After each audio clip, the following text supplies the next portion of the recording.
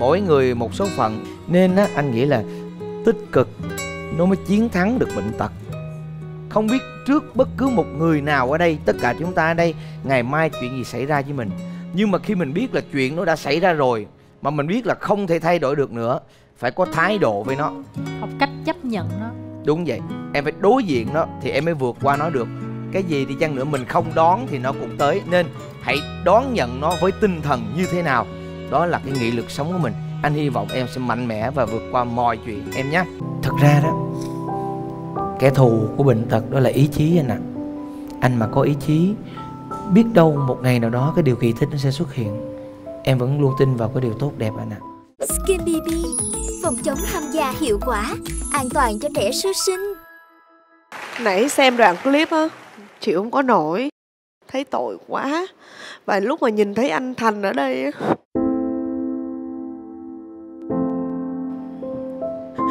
thực sự anh thành sức khỏe không có tốt. Sức khỏe anh thành rất là yếu luôn rồi. Hôm nay chị nga, vợ của anh không có đến được vì chị nga đang bị ho lao rất là nặng. Phải điều trị. Nói chung là cả hai đều không hề ổn. Nhưng mà anh thành nói rằng anh thành nhất định phải đến đây ngày hôm nay vì anh thành có một ước mơ. Đó là được gặp trấn thành. Anh nói như vậy đó.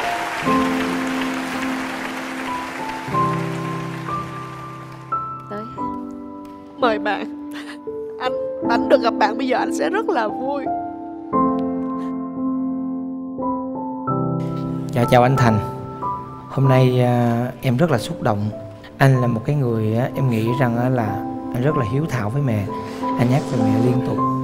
Thì hôm nay anh đến đây rồi anh cũng muốn gặp em thì em em ở đây.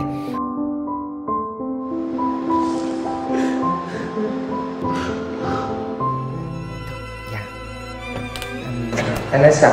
Có miếng nước không? Anh còn miếng nước không? Nha Cho lấy một miếng nước trước khi rồi xúc động này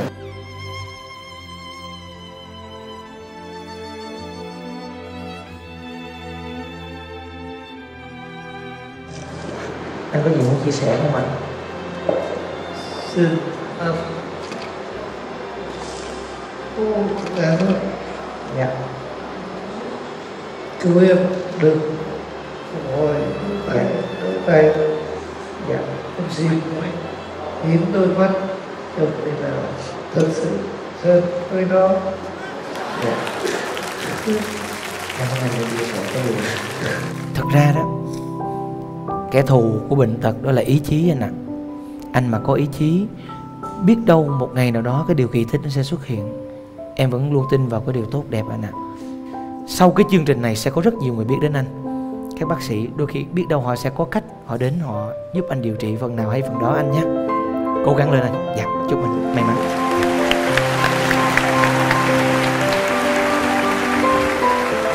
Cảm ơn trấn thành. Qua hôm nay thì cũng nhờ trên đây em cũng muốn gửi gắm tới thành rằng ở đời này không bao giờ có con đường cùng chỉ có những ranh giới và điều cốt yếu là chúng ta phải có sức mạnh để bước qua những ranh giới ấy. Tôi và tất cả các bạn lớp 12 của chúng mình sẽ tiếp thêm cho bạn sức mạnh để bước tiếp.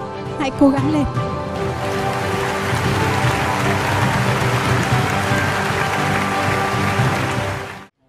À, sao phượng khóc vậy? Buồn cho số phận của mình. Buồn vì thương em thương mẹ.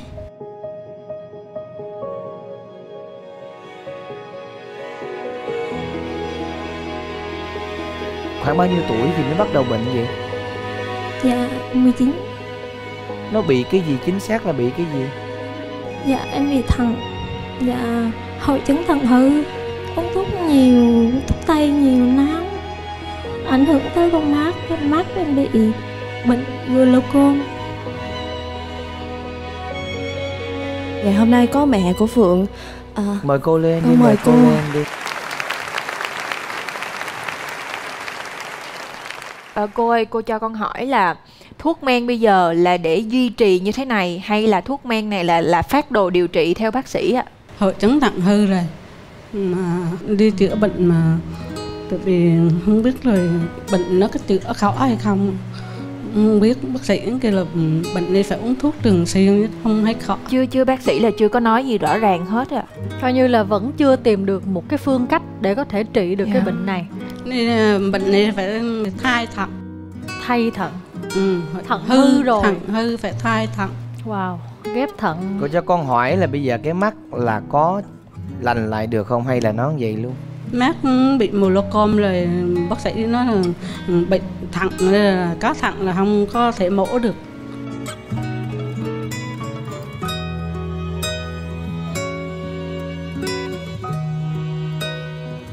Hồi nãy à, phượng cũng có nói là bản thân cô cũng bị bệnh. Cô đang bị gì? Cô cũng hay đau tai tê rút. Cái này cô phải đi đi khám chứ mấy cái mà tê tai rồi nó nguy hiểm nó dễ qua tai biến nên á anh nghĩ là tích cực nó mới chiến thắng được bệnh tật. Không biết trước bất cứ một người nào ở đây tất cả chúng ta ở đây ngày mai chuyện gì xảy ra với mình.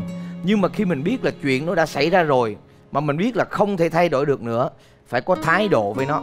Học cách chấp nhận nó. Đúng vậy em phải đối diện nó thì em mới vượt qua nó được. Cái gì đi chăng nữa mình không đón thì nó cũng tới. Nên hãy đón nhận nó với tinh thần như thế nào. Đó là cái nghị lực sống của mình anh hy vọng em sẽ mạnh mẽ và vượt qua mọi chuyện. Em nhé. Em em vui ừ, em vui vì mình được vẽ cũng được một số tiền để cho mẹ bệnh lúc em chưa bị bệnh em ước mơ mình cũng như mọi người có một tương lai tươi sáng. Có gia, một gia đình hạnh phúc. Đi ra- ờ, kiếm thật nhiều tiền để lo cho gia đình. Nghe anh Trấn Thành khuyên em em thật sự rất cảm ơn anh Trấn Thành đã động viên em để em có một động lực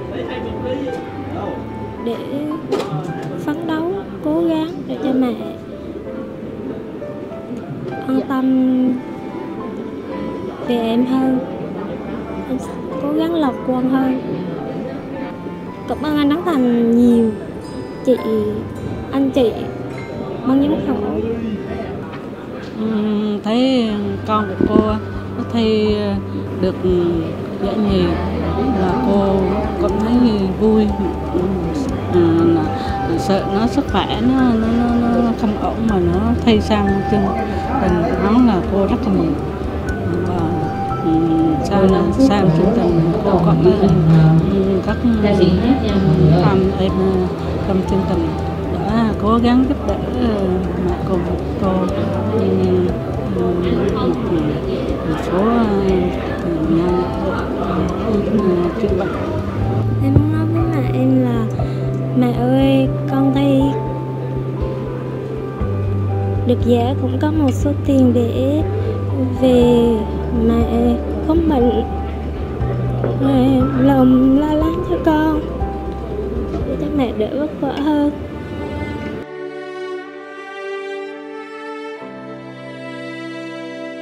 Hôm bữa thay về á, cái ừm, đã cũng mệt đã cũng mệt đó cái bữa hôm mà đi là kiểu cũng có viêm nên nó mà không biết. À, là đi cũng đau đậm đau về đi không được.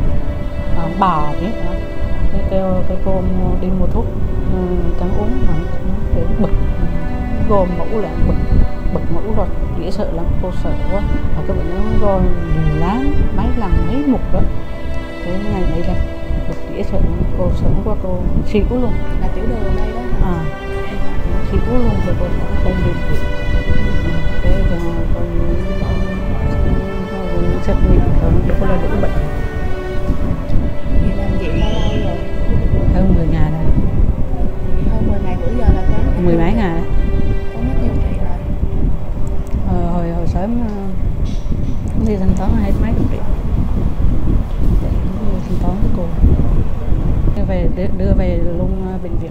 đa cứ tại dùng chữa cứ về ngồi thì cô, cô cũng biết là một sự về coi như đa hết thuốc rồi. Về để mà chữa trị thuốc nó tiếp tục thuốc thôi đó. chứ là kháng sinh nữa.